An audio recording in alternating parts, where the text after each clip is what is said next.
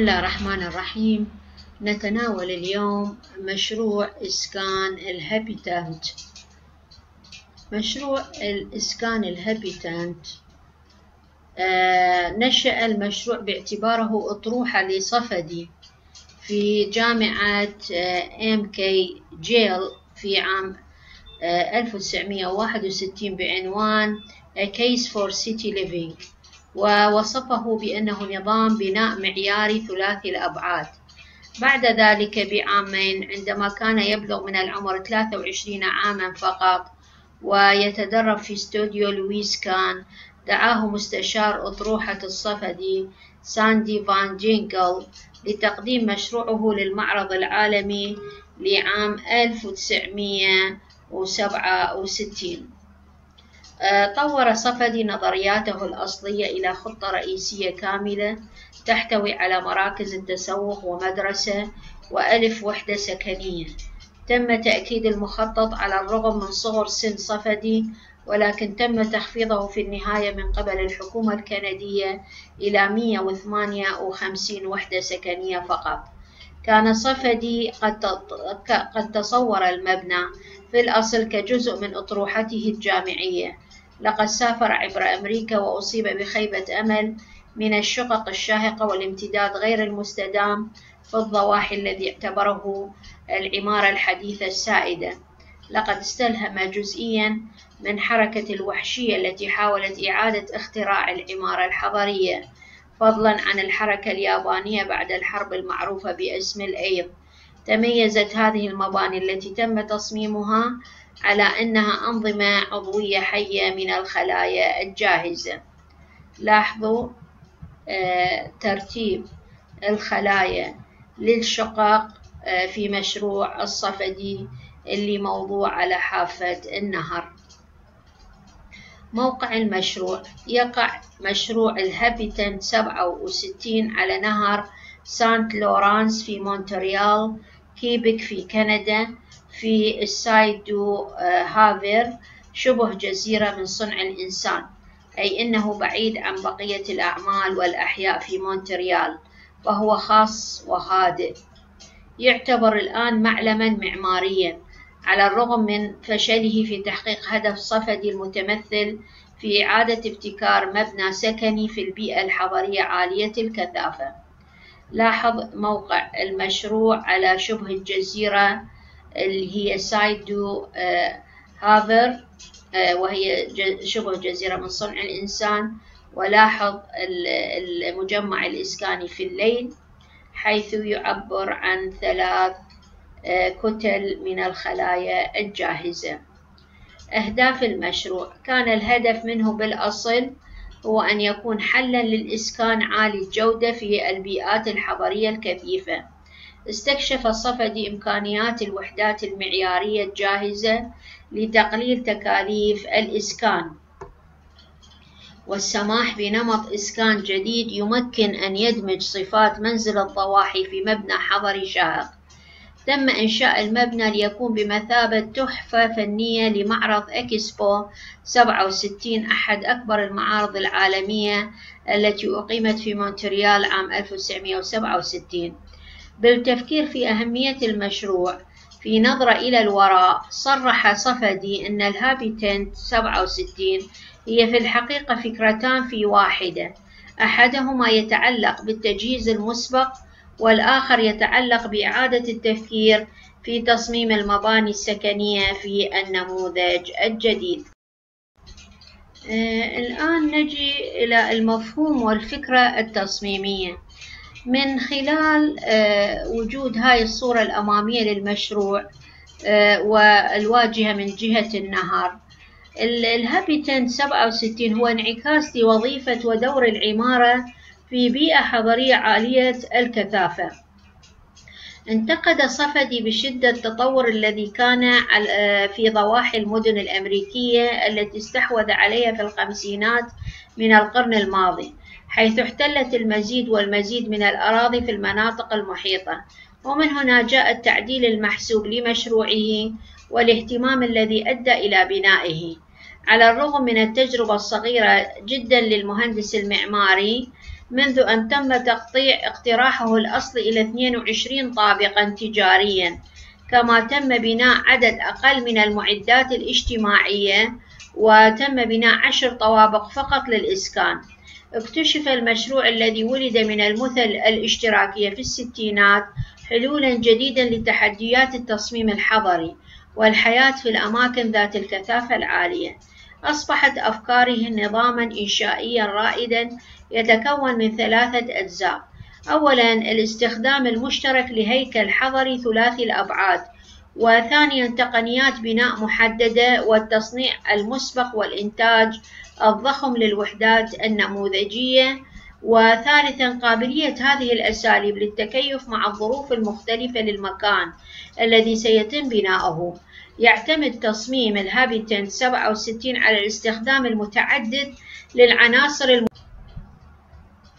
نلاحظ من مشروع ال Habitat 97 آه، طبعا صمم من قبل المهندس المعماري الصفدي وهو يقع على آه، ساحل بحر في كندا كيبك آه، يتكون من 158 158 وحدة سكنية ويكون يتوفر به الضوء ومنافذ الرياح ويتم الاتصال ما بين الأجزاء المشروع عن طريق ممرات للماشي مما يسهل الانتقال من السكن الانفرادي إلى المجمع العام في المجمع آه، نلاحظ أنه الإضاءة والتهوية في آه، آه، محتويات المشروع متوفرة ونلاحظ الواجهات البسيطة المتألفة من نافذة أو نافذتين على الأكثر بدون رتوش وبدون زخارف ومطلة على الفيو الجميل بالساحل. نلاحظ المطابخ البسيطة والتأثيث البسيط داخل هذه الوحدات مما يؤدي إلى التذكر بنظام الاشتراكية السابقة في فترة السبعينات. حاول الصفدي أنه ينفذ مشروع من هذه العناصر المسمات بالصناديق أو الوحدات النمطية. والتي تم تنظيمها لإنشاء 15 مكانا سكنيا بتكوينات مختلفة ليصبح المجموع 158 وحدة سكنية داخل المجمع. نجي إلى تركيب المشروع. يظهر الهابيتنت 67 للوهلة الأولى عشوائيا تماما تقريبا. بعد دراسة متأنية تظهر الشبكة الدقيقة التي تحكم المجمع بأكمله. تتبع كل وحدة هذه الشبكة مع تكديس وحدتين أو ثلاث وحدات لتشكيل مسكن فردي. ثم يتم تكديس هذه المساكن وتدويرها لتتخذ آه، كومة ضخمة من الوحدات. ثم تشكل سلسلة من الممرات الدورانية للعمود الفقري للمبنى. لاحظوا هذه هي التشكيل للوحدات الموجودة في الهابيتنت 67 حيث نلاحظ أن المجمع بأكمله مكون من وحدات. نلاحظ اتجاه السهم من الأسفل إلى الأعلى حيث أنه هاي الوحدات المستطيلة يتم تركيبها حوالي اثنين ثم تدويرها لتشكل أربعة ومن ثم هاي الأربعة يتم تدويرها إلى أن تشكل مجموعة كاملة من الوحدات المدورة بالكامل. نلاحظ هذا اللون الأحمر آه، وحدة آه، تتركب عليها وحدتين ومن ثم أربعة والأربعة تتركب عليها أربعة ثانية بالاتجاه الآخر. فإذا يتضح لدينا من هذا المخطط أو الصور تراكب الصناديق وتكديسها وفق نظام وتظهر الشبكة التي تحكمها. نجي على بنية المشروع. تم بناء الهابيتن 67 من 354 وحدة متطابقة ومجهزة بالكامل آه، يشار إلها باسم الصناديق. مكدسة في مجموعات مختلفة ومتصلة بكابلات فولاذية. تتنوع الشقق من حيث الشكل والحجم حيث يتم تشكيلها من مجموعة من واحد إلى أربعة صناديق تبلغ مساحتها 600 قدم مربع في تكوينات مختلفة. يتم الوصول إلى كل شقة من خلال سلسلة من شوارع وجسور المشاة. إلى جانب ثلاثة محاور عمودية من المصاعد للطوابق العليا.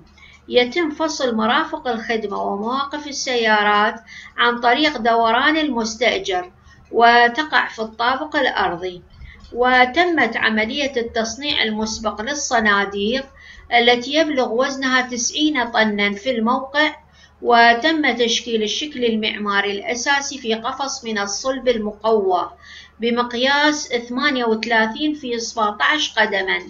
بمجرد اكتمال الصنع تم نقل الصندوق الخرساني إلى خط تجميع لإدخال الأنظمة الكهربائية والميكانيكية وكذلك العزل والنوافذ لإنهاء الإنتاج. وفيما بعد تم تركيب وحدات المطابخ والحمامات ورفعت عن طريق الرافعة كل وحدة من الوحدات إلى مكانها الأصلي ضمن التصميم. نلاحظ هذه الوحدات كيفية إنشائها ومراحلها إلى أن يتم رفعها وتثبيتها حسب المخطط المقرر له من قبل المهندس المعماري الصفدي. نلاحظ هاي الرافعة اللي آه، تنقل الوحدات بأكملها اللي بأبعاد 38 قدم في 17 آه، تشكل كل وحدة بالموقع من ثم ترفع بواسطة رافعة. فهذه صورة تظهر بها تركيب الوحدات الكونكريتية مسبقة الصنع. نجي إلى مكونات المشروع. كانت الوحدة النمطية مسبقة الصنع المستخدمة في هذا التصميم عبارة عن مستطيل أساسي يبلغ ارتفاع 17 قدما في 38 قدما في 10 أقدام. يتم التدوير العمودي بواسطة ثلاثة نوى للمصاعد موزعة بالتساوي في جميع أنحاء المجمع.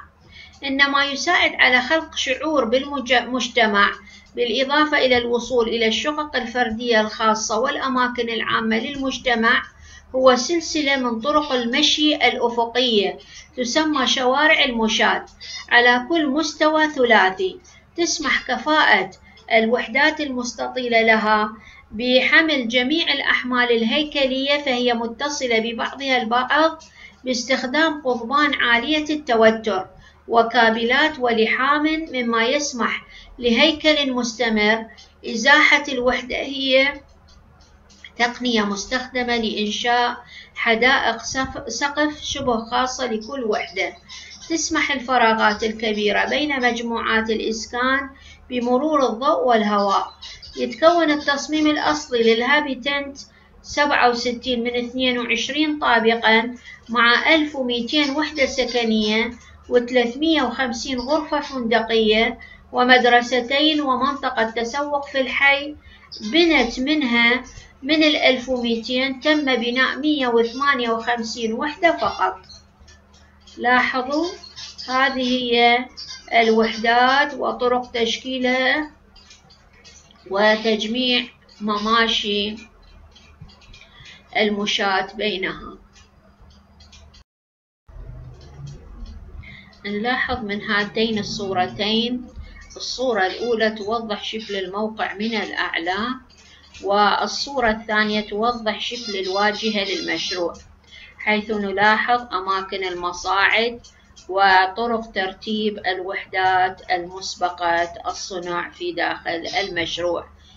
ومن خلال تكديس الصناديق الخرسانية في تكوينها في تكوينات هندسية مختلفة تمكن صفدي من كسر الشكل التقليدي للارتفاعات العالية المتعامدة وتحديد موقع كل صندوق على بعد خطوة من جارته المباشرة.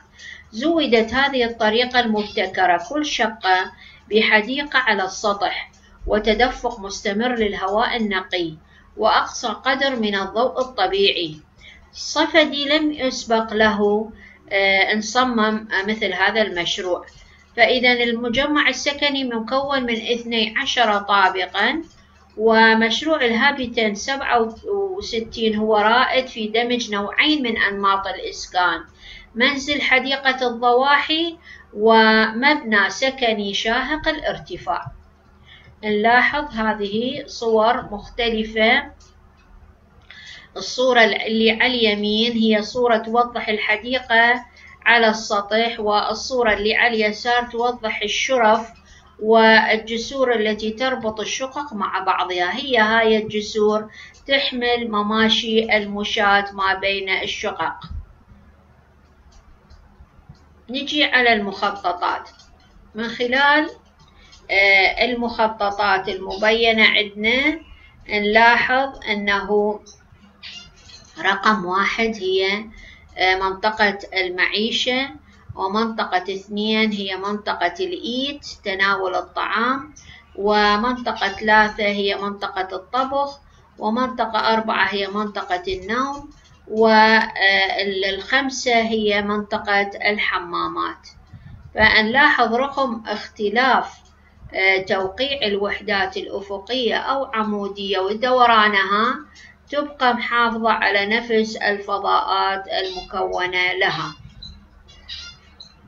هذه أيضا مخططات لوحدات أخرى بتدويرات أخرى عمودية وأفقية حسب موقعها بموقع المشروع ومحافظة على نفس النقاط اللي أشرنا إلها. فإذا هي هاي نماذج مختلفة لنفس الوحدات. نجي على التصميم الداخلي. تم تصميم الشقق ضمن مشروع الهابيتنت. 67 باعتماد نمط البساطة في التصميم والابتعاد عن التعقيد والتكلف. وتم الحصول على التصميم المميز والمساحات الداخلية الواسعة المفتوحة عن طريق إزالة جميع الجدران الداخلية. وتمت إضافة الزجاج إلى الجدران الخرسانية الأصيلة الأصلية لإضافة صفات الشفافية والانعكاس. كان السقف الخرساني آه، واضح في التصميم الداخلي بينما استخدمت ألواح الباركية الخشبية في الأرضيات. في حين تم تثبيت تفاصيل للفتحات والشبابيك لتحسين تدفق الهواء. وتم وضع نوافذ موفرة للطاقة خلف الجدار لتتناسب مع المظهر الجانبي الأصلي وخطوط الرؤية بينما تم استخدام أبواب الفناء المنزلقة إلى آه، آه، حالة. أما الحمامات فكانت مصنوعة من الألياف الزجاجية المصبوبة ودربزين البوليكربونات الشفاف. كما هو موضح في الصور. نلاحظ هذا هو التصميم الداخلي المعبر داخل كل وحدة من الوحدات الخرسانية الصلبة حيث حافظ بالسقف على ال surface الخرسانة الأصلية بينما طليت أجزاء الشقة بألوان الأبيض والألوان السماوي ووضعت الألوان الكونتراس الأبيض والأسود آه، لتتمة التصميم. أما مواد الإنهاء في الوحدات آه، تم بناء الوحدات من الخرسانة المسلحة المصنعة المصنعة في الموقع حيث تم بناء خط تجميع حقيقي في المكان الذي قام أولا بصهر الخرسانة لإنشاء الوحدة. ثم تم تركيب التوصيلات الكهربائية والمطبخ والحمامات والنوافذ وبعد ذلك تم تركيب رافعة آخذة إلى موقعها النهائي. وتم طلاء الوحدات النمطية من الخارج بدرجات اللون البيج والرمادي.